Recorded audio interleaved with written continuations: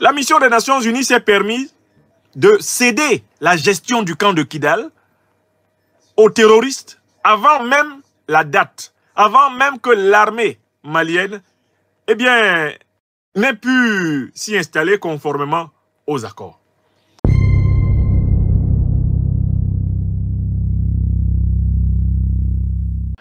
La mission des Nations Unies s'est permis de céder la gestion du camp de Kidal aux terroristes avant même la date, avant même que l'armée malienne eh n'ait pu s'y installer conformément aux accords.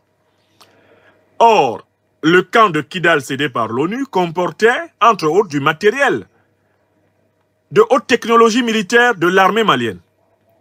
Donc, la MINUSMA s'est permise de céder le camp de Kidal aux terroristes du MNLA et comme, vous, vous voulez les appeler, ce sont tous des terroristes, et de céder une partie du matériel officiel de l'armée malienne à ces bandits. Dans quel but? Dans le but d'empêcher que l'armée malienne, les FAMA, puisse effectivement prendre possession de ce camp. Il s'agit très clairement d'un acte de haute trahison. En cédant ce camp aux bandits, aux terroristes du MNLA et d'Al-Qaïda et de l'État islamique, la MINUSMA a clairement affiché son appartenance à la mouvance qui déstabilise le Mali depuis maintenant plus de dix ans. Il s'agit d'un aveu en plein jour de complicité entre la mission des Nations Unies au Mali et les groupes terroristes. Or, je voudrais vous faire remarquer que ce que la MINUSMA a fait est exactement ce que l'OTAN avait fait en Libye. Je recommence.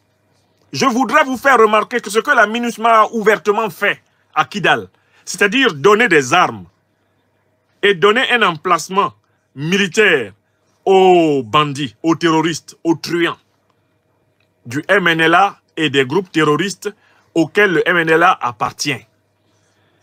C'est exactement ce que l'OTAN avait fait en Libye. Mais qu'est-ce que l'OTAN avait fait en Libye?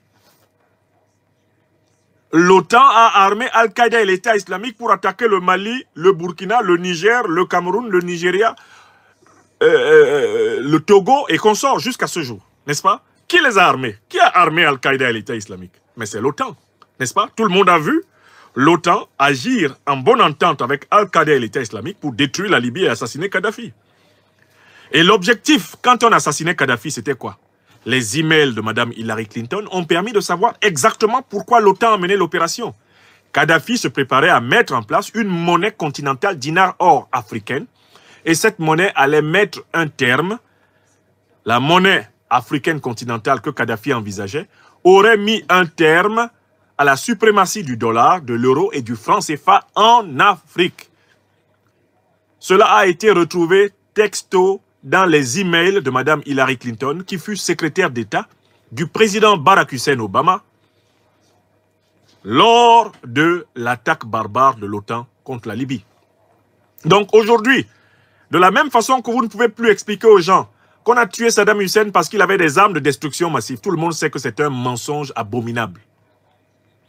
De la même façon, vous ne pouvez plus vous mettre devant les Africains et dire l'OTAN est intervenu en Libye, c'est-à-dire Obama, Sarkozy, Obama pour les États-Unis, Sarkozy pour la France et David Cameron pour euh, la Grande-Bretagne.